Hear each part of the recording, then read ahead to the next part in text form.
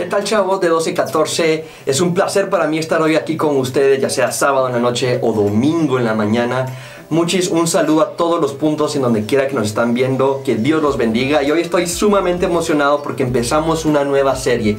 Esta serie se llama Déjalo ir y específicamente hoy vamos a estar tocando el tema del perdón. No perdonar duele mucha. Déjenme presentarme, mi nombre es Luca Domínguez y junto con mi esposa Flor servimos al Señor el punto sábado por la noche. Y bueno, muchis, vamos a estar hablando de situaciones que sin duda alguna todos hemos pasado. El perdonar a alguien que nos ha hecho daño, en superar situaciones, pueden ser pequeñas como en lo personal les voy a contar. Aún no sé si supero del todo Toy Story. Esta niña que se llama Bonnie que para mí es el villano principal de las películas. ¿Cómo van a cambiar a Woody, Woody, nuestro vaquero, por un tenedor? Pues no, y no solo eso, en la última lo deja perdido. No, no, no, no, no. Yo creo que todavía no lo supero bien del todo. Y así como estas cosas pequeñas que pueden ah, pasarnos o ocurrirnos que son difíciles para superar, también estoy consciente mucha que pasamos cosas graves cosas que nos afectan sumamente en nuestros corazones y es difícil dejar ir. Y es que cuando hablamos del perdón deberíamos de creer o pensar de que perdonar debería ser fácil o que es simplemente con decir perdono o, o que el pensamiento pase vagamente por nuestra mente, pero no, muchas veces requiere tiempo. Perdonar no es simplemente de un solo momento y ya. Y eso vamos a estar viendo hoy. Y quiero que vayamos a ver los idiomas. Yo creo que aquí si les preguntara quién es fan de los idiomas, son muy pocos los que levantaran la mano, yo no lo soy, pero es importante que hoy vayamos al idioma griego. Y es que, si ustedes saben, la Biblia, gran parte de la Biblia, no toda, el Nuevo Testamento, fue escrita en griego. Y vamos a, ver algunas palabras que me llamaron fuertemente la atención. Y la primera está la palabra apoyo. Espero que lo esté diciendo bien, yo lo busqué y yo lo digo como lo leo. Probablemente no está bien. Dice apoyo se usa para escribir perdón, pero también se, escucha se usa para decir poner en libertad. El término afiemi también se usa para perdón en la Biblia y también se usa para referirse o decir dejar atrás. Y el último término es afesis. Cuando escribían afesis en la Biblia, en griego, era para referirse a que tenían que perdonar, pero también lo usaban para la palabra liberar. Afesis significaba liberar. Entonces, si se dan cuenta y si juntamos estas definiciones, podríamos decir que cuando hablamos de perdón, estamos hablando de dejar atrás, de liberar. Y sería fácil y se oye pues sencillo, ¿no? Que entonces perdón es dejar atrás pensamientos negativos, ofensas que nos hayan hecho las demás personas y poder liberarnos de eso. Pero a veces no es tan fácil como creemos. Y es que yo sé que todos hemos sido heridos. Y todos sabemos acá que los pensamientos negativos los tenemos que dejar atrás. Pero quiero que pensemos y analicemos ahí. ¿Qué es lo que realmente hacemos cuando nos hacen daño? No lo dejamos atrás tan fácil. No, seguimos pensando y pensando en ello una y otra vez, dando vueltas en la mente y eso hace que nos duela más. Quiero que pensemos en esto. ¿Qué hacemos realmente cuando nos daña? Eh, muchas veces pretendemos estar bien, hacemos como si nada pasó, hacemos, seguimos con nuestra vida, decimos, eh, bueno, no me importa, por muy superficial. A veces y la gran mayoría de las ocasiones tratamos de vengarnos, de decir, bueno, no, este me golpeó jugando fútbol, ahorita que me en mi pierna, pues lo voy a ir a patear yo también.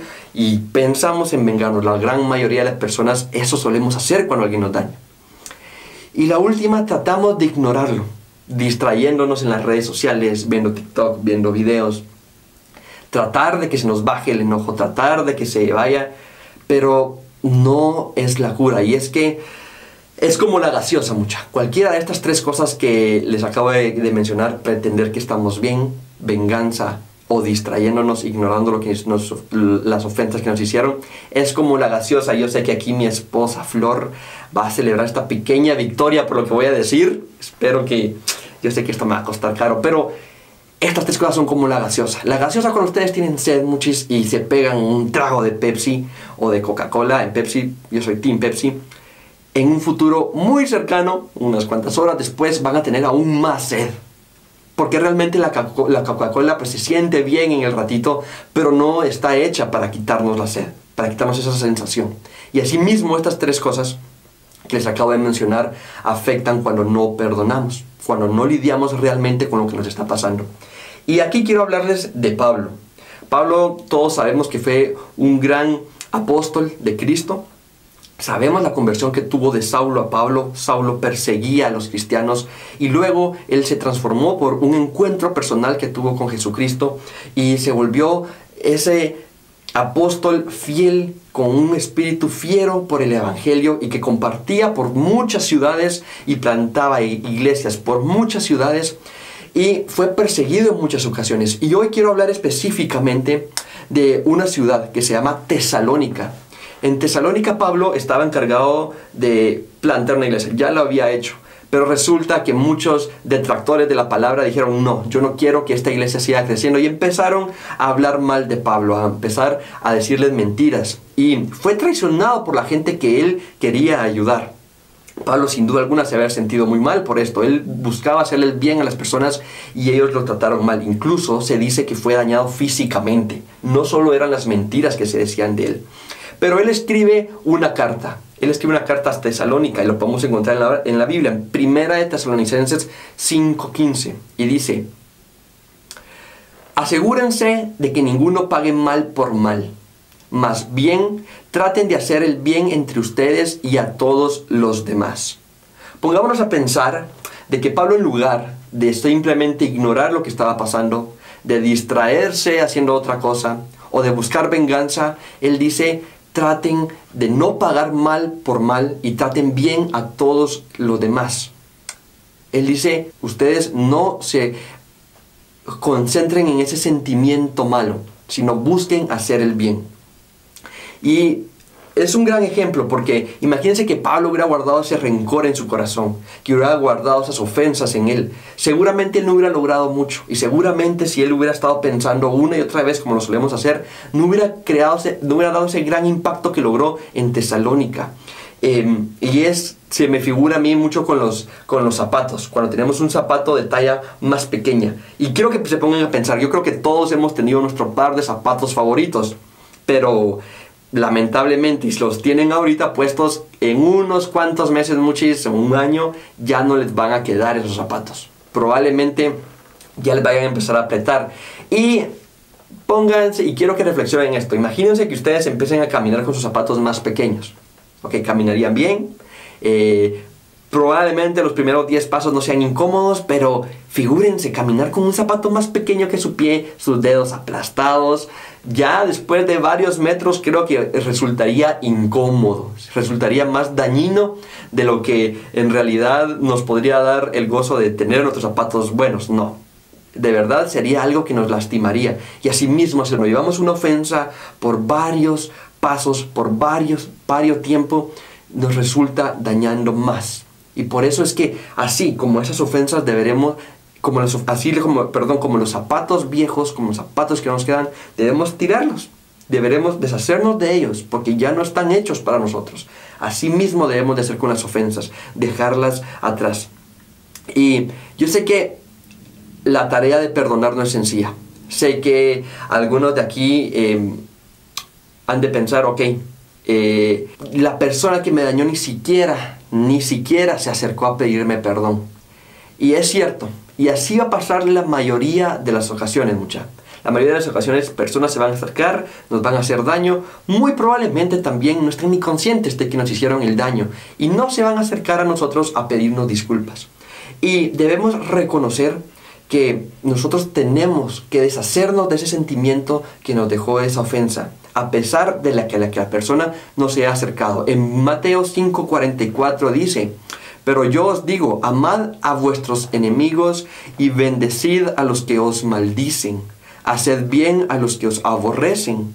Y entonces mucha debemos soltar todo eso que nos está haciendo mal. Ahora bien, también quiero hacer énfasis en las personas que están acá escuchando esto.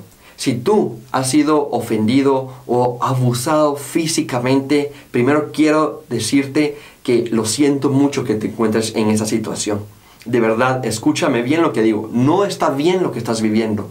Y parte de perdonar también es ir y decirle a otra persona que te pueda ayudar, contarle lo que estás viviendo.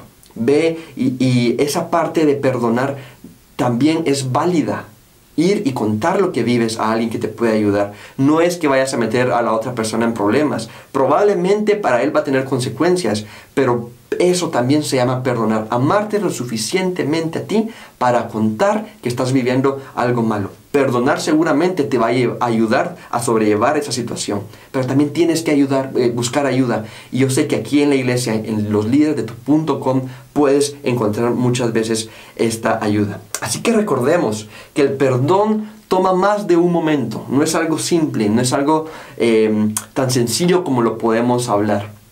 Y también tenemos que recordar que no perdonar duele, duele mucho. Llevar las ofensas por mucho tiempo es como llevar zapatos que no son de nuestra talla. Es un malestar constante y que cada paso que damos, cada vez que pasa más tiempo, nos va a doler mucho más.